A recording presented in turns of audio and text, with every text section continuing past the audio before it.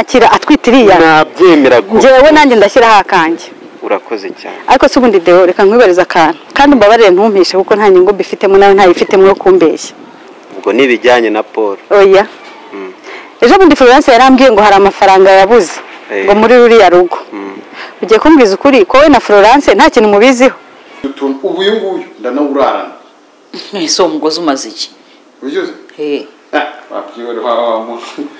wabyihoreye kuko nkagobeke ngashyira dore ubundi ni amapfundo abiri bambwiye. Dore ubu ipfundo rimwe ni iri irindi ni iri ngiri. Bande se ndamuzi Ange uramuzi ndamuzi okay nimba Ange umuzi.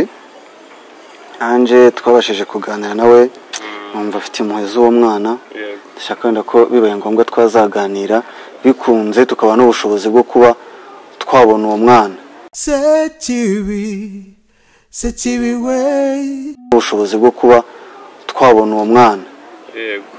Uwo mwana twamurera. Tukamurera. Mm, twembi dufatanije mm, ibyo byaba ari ingenzi. Byaba ari byiza. Byaba ari ingenzi kuko mwana iyo wabanye n'umuntu uriya mu- uriya musore yatubaniye neza. Ya, yatubaniye inshuti neza. nziza kabisa ni inshuti nziza inshuti nziza. Eh. kandi kuba yenda kubw'amahirwe atarahambishijwe ikara kwa kundi eh ugomba gufasha nyine aya nta muntu bagihamba n'ikara kuri iki gihe. Basigaye baguhamba na gaze amakara. Amakara ntabwo agikoreshwa cyane urebye. Tugeze muri viziyo ni gaze Eh, mm, ariko ni byo ni ukuri. Waba umfashije uwo mwana tubonye uko tumurera ni ukuri. Byaba bimeze neza cyane? nanjye ubufasha nabutanga nanjye ubufasha nabutanga. Eh, nabutanga cyane ko wenda nagarutse ni n'aha ngaha Mm. urumva biroroshye biroroshye ko yenda twajya tunagenda tukamusura tu- tukamenya tukamenya uburyo ki abayeho. Ni ukuri muganga urakoze urakoze kandi cyane. ni wabyanga, iby'agaciro ni ukuri. kubera inshuti yacu natwe tutazamubanira nabi. Ni ukuri. Eh. noneho reka nzamuke aha turongeye kureba ruguru ho gatoya ubwo tuzasubira. Reka nkugeze aha nanjye Mm, tuzasubira ni ukuri turi kandi. kumwe kandi. Sawa sawa. Mm.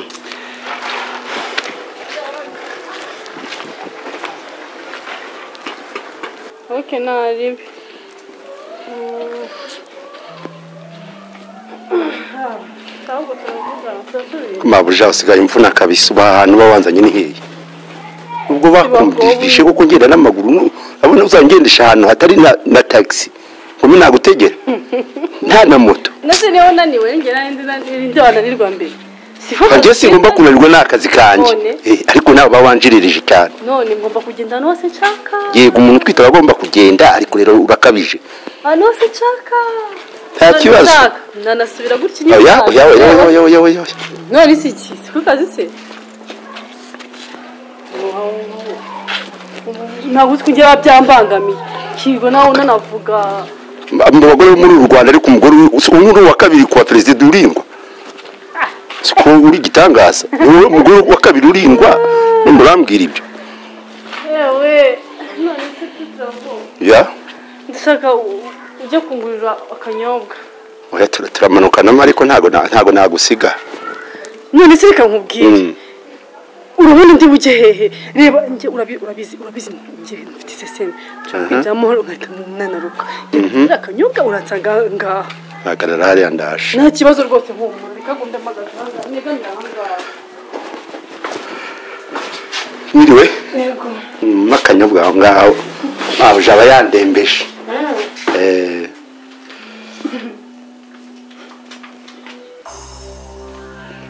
abagore batwite rero buriya ngo baba bumuhumuriye bwamuhumuriye Mm. ya murakoze cyane. Mm.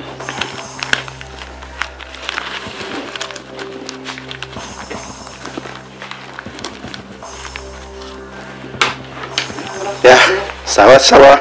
Kasubire ku mirimo. Aba yandembeje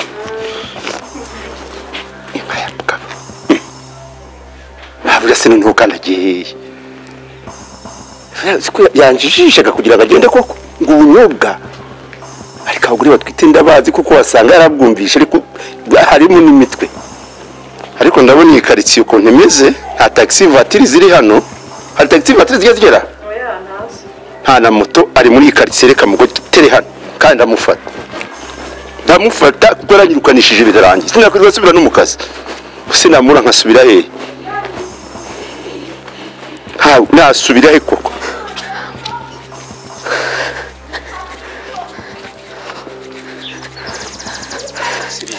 umucitsi ute umva mubwira ukuri sibyo? Umucitsi ute umva. Ndamushutse nagende muri butike urumva? Ariko mva ngo yari yabyanze neza neza. Ndamwinginze mbabarira ugende ugurire akantu muri- muri butike ndumva ngashaka byihutirwa. Nyine ki- ki- aba agiyemo urumva? Agiyemo rero ni bwo nyine imisenza nirukanka ubu ndabizi ko ubu yambuze. Yakubuze. Ahubwo wumva nyine nkubwira icyakinzanye vuba sibyo kugira ngo ubyibuze aze kumfata wenda tumaze no kubivuganaho gatoya. Kuko nyine aba yankurikiranye ahantu hose adashaka ko mana yanjye we. None se ubundi njye hari ibintu birimo birantangaza. Kiriya kiguryi ngo ni mupfumu cyageze hariya gute? Mva dewo nanjye ntabwo ndi kubyumva neza uburyo ki yaje kwihuza na pisi urumva bakagera aho aza mu rugo ntabizi bagapanga kuza kuba umukozi wo mu rugo. Nanjye ubu byanshanze uzi ko pisi yambwiye amafaranga ko nareba sinari kubyundi kuri fone warabimbwiye ariko burya umuntu uguhaye amakuru kuri telefone ntabwo bimeze nk'uko wayama turi kumwe. Ikintu njye ndi kwibaza ni ikihe kintu nyamukuru bari gupanga we na pisi ubundi ikintu nyamukuru rega ngo barashaka kumbabaza. Ukubabaza. Eh kubera ko pisi kuva kuva nyine wa mwanga niko nabivuga. Umva asigaye anyanga hmm? Eh. bivuga ko afite n'umujinya yo nyine na mwana. none ariko ariko urabizi ukuntu ari yawukunze rero kubera iyo mpamvu umve ngo angendaho ibintu byose aba yaniranyije kuri musaza we mbese umva yavuze ngo tugiye guhangana ngo mpaka. Rero ku- ku- kujyana mupfumu nyine ni uko wari uturiye yamubwiye. Aba ati noneho reka nze mpangaye nawe flora ariko ubundi yambwiye. Nta zindi gahunda cyane ni kugira ngo mbabaze ikintu ngiye kineye ubwoba ni kimwe. Uriya mupfumu amabanga yanjye nawe yose arayazi urabizi twabayewe ibi bintu rero ibi bintu tutitonze bishobora kugusenyera kandi bikagira ute bikakwicira ubuzima nanjye bikangira ubuzima ni cyo kibazo nyine mfite. Dukore kinini ikindi kindi kandi uzi ko n'umupfumu nyine. Ni umaze kuza muri rugo uzi ko banatwite uretse no kuba ibyo ngibyo agisha no kungirira nabi. None se ariko mva mubwire dewo sibyo hari inama nungutse hari igihe hari ibintu nigeze gukora gusumba barere nyine sibyo ntabwo nigeze mbikubwira. Umupfumu sinzi niba yarigeze kubikubwira hari igihe yigeze kunsaba kuryamana nawe. Urumva? Hari igihe Yigeze nabagayo yego. Ibyo bintu kuki ntabyo utabimbwiye nakubwiye. Harya sinibuka neza nubwo nzi ko nabikubwiye mbiwe yigeze kunsaba. Ariko niba cyagihe wari wararwaye ntabwo mbyibuka neza. Gusa yigeze kumpesha umutwe ashaka ko ashaka ko turyamana urumva? Noneho rimwe mbonye ibintu biri kuba seriye Eh. sinzi ukuntu nyine twaye twabivuye nifite telefone mufata kari kode n'ubu ngubu ndacyagafite ariko ari wowe ari nawe nta muntu n'umwe wari uzi ko ngafite. Noneho wumva igitekerezo nari ngeze rero. Nari mvuze ngo ko nawe ari mwari rugo ashaka ari kugira ngo ambabaze n'iki? Uwayimukangisha urumva? Nkamubwira ati noneho wowe ku- iyi kode ngiye kuyumvisha umugabo wanjye noneho mwumvishe ko ahubwo wowe washaka ko turyamana akaba ari nyine nkabateranya. Wumva atari byo? Rikodi urayifite? Ndayifite. Rikodi umbabare uze kuyinyohereza. Ndebe kubyibuze nanjye twamukanyije akava mwa ruriya rugo. Umva i- umva njyewe na natekereje umutwe washyushye numvaga nta kintu twakora. Ariko ibyo urebye ukuntu bari kunyishima hejuru noneho. Umva mupfuye wehe ngo nzahangaha mukanyirataho ngo ibiki n'ibiki. ngo ndaje ngo nkwereke. Reka duhangane nabo. Kugira ngo kugira ngo bemere ko tubarusha ubwenge. Reka njye na- nabo duhangane. Turi babiri nabo ni babiri. Ibyo bintu urabyemeye? Dukore urugamba. Ikibazo ngaho ushobora no gushyiramo impuhwe kugeza ukundana na pisa nanone ni cyo kibazo mba mfite. Oya oya. Icyo ntabwo ari cyo kibazo. Icyo ntabwo ari cyo kibazo. Noneho rero sibyo nta kibazo. Gusa icyo nashakaga ni ukugira ngo ubimenye. Pisa atazakwiyoberanyaho cyangwa umupfumu. Urumva akakwiyoberanyaho ntumenye ngo ibintu bimeze gute bimeze gute. Urumva? Ibyanjye na pisi byararangiye. Ubu njyewe mbara pisi nk'umwanzi wanjye. Sibyo? Kandi niba nawe ari umwanzi wawe nanjye ni umwanzi wanjye. Amereye nabi noneho bimwe udashobora kumva. Eh? Re- rero wowe ntugire ubwoba. Sibyo? Ntugire ubwoba. Ahubwo reka tugende urumva? Tugende urumva? Reka tugende wowe? Ahubwo ikibazo ni kimwe. Tutaravu ugomba gukora uko ushoboye kose ukamutanga he mu rugo? Urumva? Niba ari bodigadi wawe agomba arabizira. Aravuga se ko yagusize ahubwo reka nkubwire dewe sibyo reka nirukanka ahubwo urumva? Ibyo ari byo byose ubu ngubu niba yanambuze ubu yagiye mu rugo. Reka nirukanye amajye noneho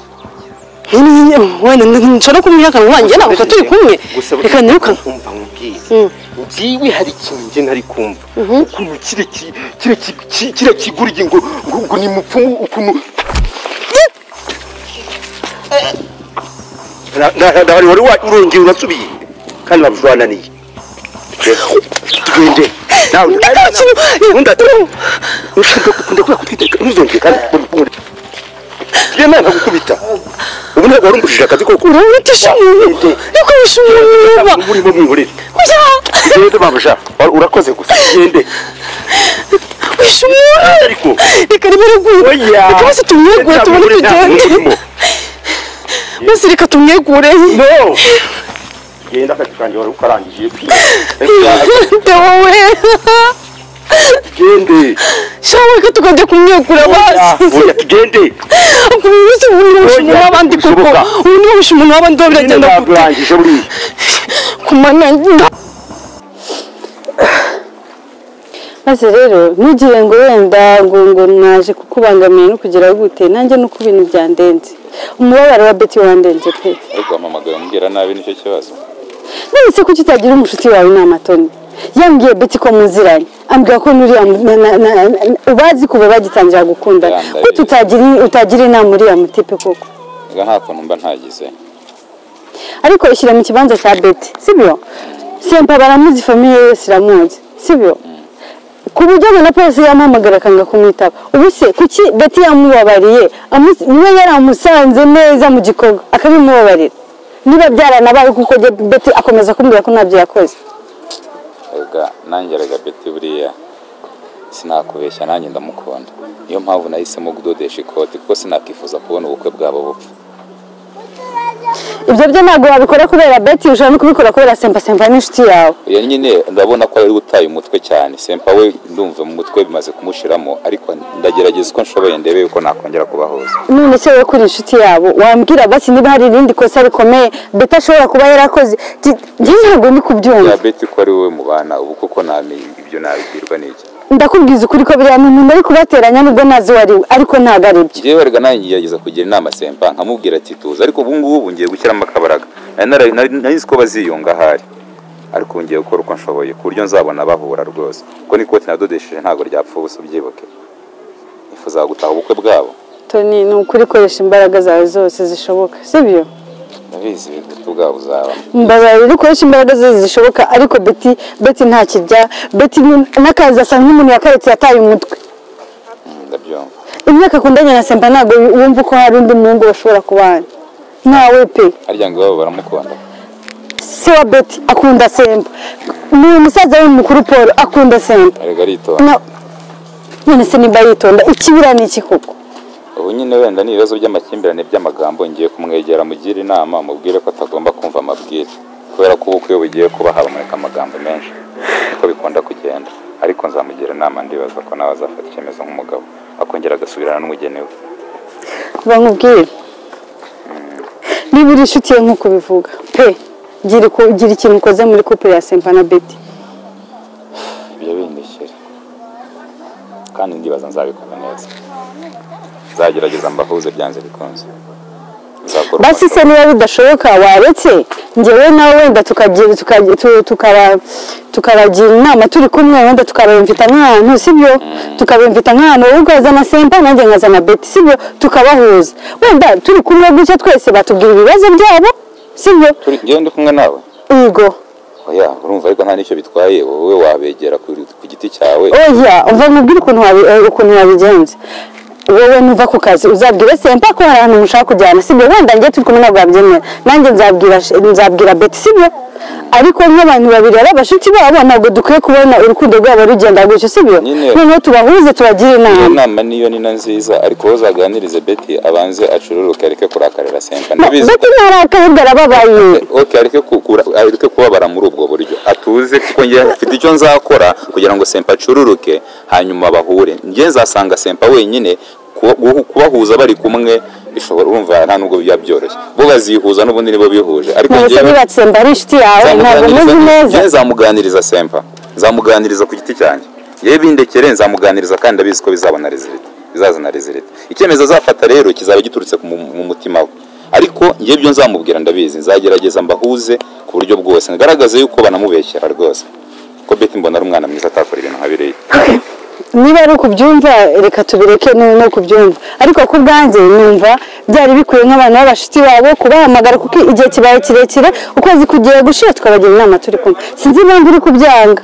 Ntacyo tuzabipanga ntacyo tubikore tuzapanga umunsi. Nuko nari mpuze muri iyi minsi tuzapanga ku buryo tuzabonana bose bari kumwe. Ariko njyewe numvaga ku bwanjye nasanga nasanga umuhungu nawe ugasanga umukobwa kubera ko ari bo twisanga njyewe turahorana. Ni niyo mpamvu naje kukwitabaza ariko niba ari ukubyumva ntabwo nakubwije ikintu utagishaka sibyo ntacyo tuzabipanga urakoze kandi wakoze kunganiriza kuri iyo ngingo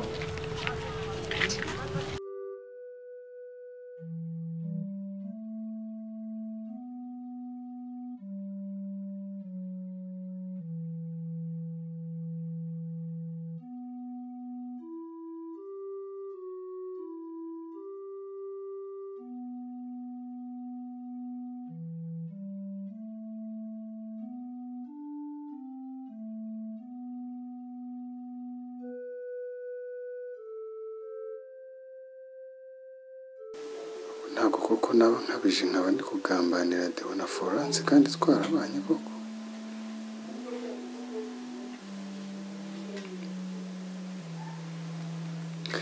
Ko numva bingoye kandi bitoroshye. Uyu mwana w'umukobwa nawe ngo ni pisi wampaye amafaranga.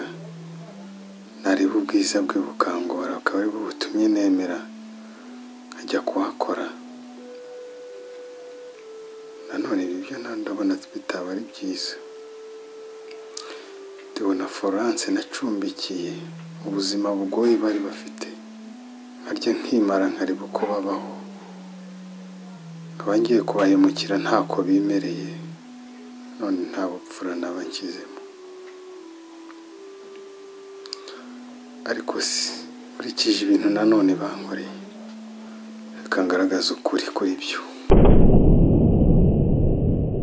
Sekibi sekibi we waramemukiye nari mbayeho ntuje n'umuryango wanjye narubahwaga umuryango wanjye warashe uransenya urandimbuye sekibi umuntu ungana nkawe w'umusaza ugiye gushaka indaya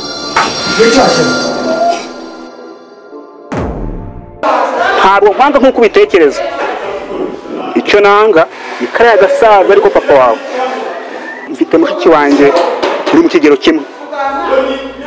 Numva urabyumva ndashaka kukuguta amatwi ukumva kuko ndashaka kuguha n'ubutumwa. Ndashaka kurongora mushiki wanjye ungana nawe. Sheri jya ubihorera. Tuzabana babyanga batabyanga. Ni hahandi tugomba kubana. Uzi noneho wa musaza wanjye w'umwarimu we iyo atashye akansanga mu rugo. Ugiye gushaka undi mugore.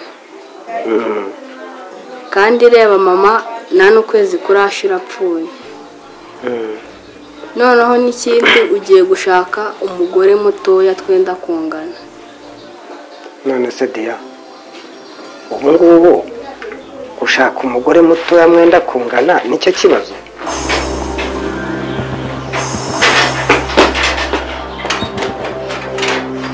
Seburo ni ukuza koko. Serine serine. Ariko maze yarakuroze cyangwa byagenze bite? Ariko na hano urankurikiranye kuko hagarara hariya. Musaza. Waretse kuko ubwo waretse. Musaza yakuroze cyangwa ubwenge buke.